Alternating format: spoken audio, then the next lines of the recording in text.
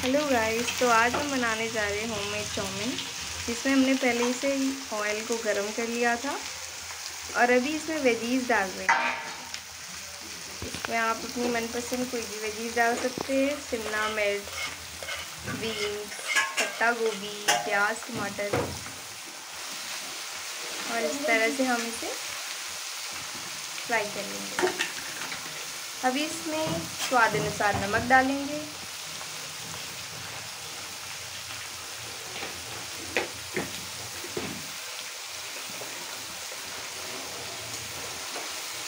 और इसे फिर से मिला लेंगे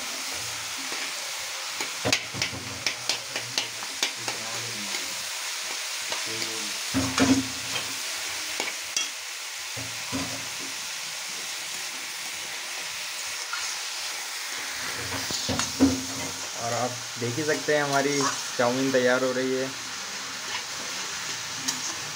अभी हम अच्छे से वेजिटेबल्स में जैसे पत्ता गोभी है और शिमला मिर्च है बीन्स है इसको फ्राई कर रहे हैं अच्छे से।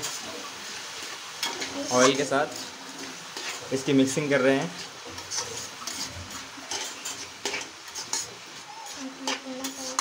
आप घर पे भी ऐसा ट्राई कर सकते हैं। हाँ। चाउमीन। चाउमीन आप घर पे काफ़ी इजीली बना सकते हैं।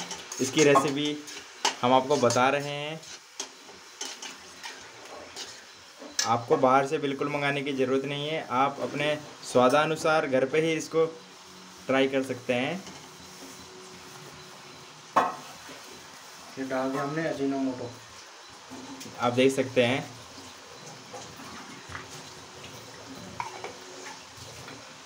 आप अपने अकॉर्डिंग इस पर और वेजीज भी ऐड कर सकते हैं।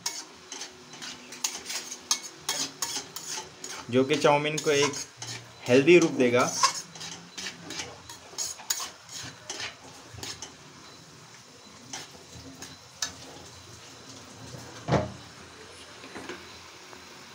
चाउमीन जिसको हम पहले से बॉईल करके रखा था साइड में। इसे ऐड कर देंगे। अच्छे से ये फ्राई हो गई है हमारी वेजिटेबल्स आप देख सकते हैं काफ़ी अच्छे से हमारी वेजिटेबल्स फ्राई हो चुकी है।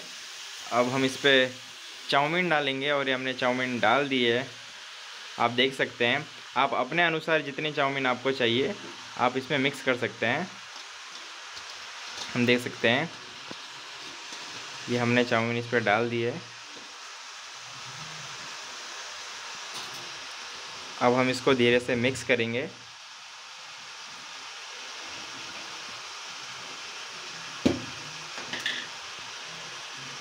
ये हमने इसमें डाले रेड चिल्ली और ये रेड चिली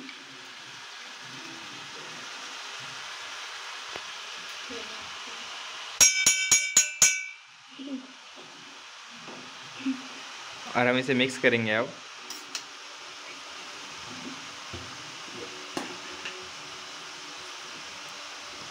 होममेड मसाला और ये घर में बना हुआ तैयार मसाला। सीक्रेट मसाला।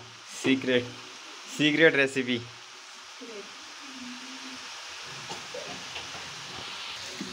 और ये विनेगर जो कि जान माना जाता है चाउमीन का। बिना विनेगर के बिना चाउमीन को हम इमेजिन भी नहीं कर सकते हैं। और ये sauce soya sauce soya sauce ये अपने अनुसार जितना हमें डार्क रखना है या लाइट रखना है, हम इसे इसमें डाल सकते हैं। अब हम इसे धीरे से मिक्स कर देंगे।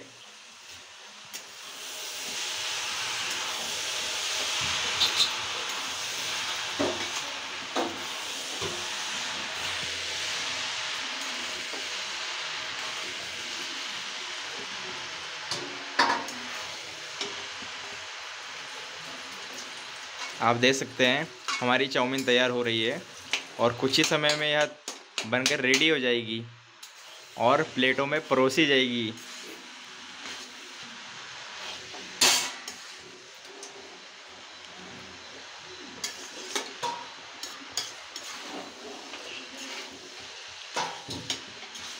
देखो इसमें कलर भी आने लग गया है। जी आप देख सकते हैं। धीरे धीरे कलर आपको शो हो रहा होगा इसको फ्राई करते रहें।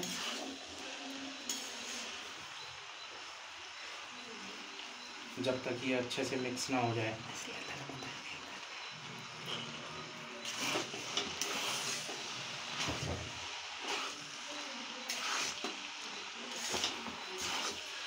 और आप देख सकते हैं, हमारी चाउमीन बनने ही वाली है।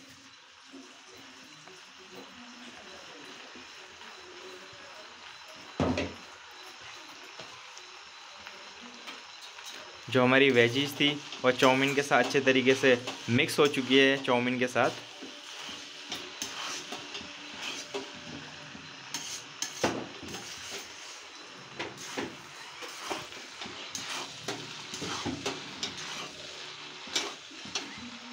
गाइस ये हमारी वेज चाउमीन रेडी आप देख सकते हैं, काफ़ी अच्छे तरीके से मिक्स हो चुकी है।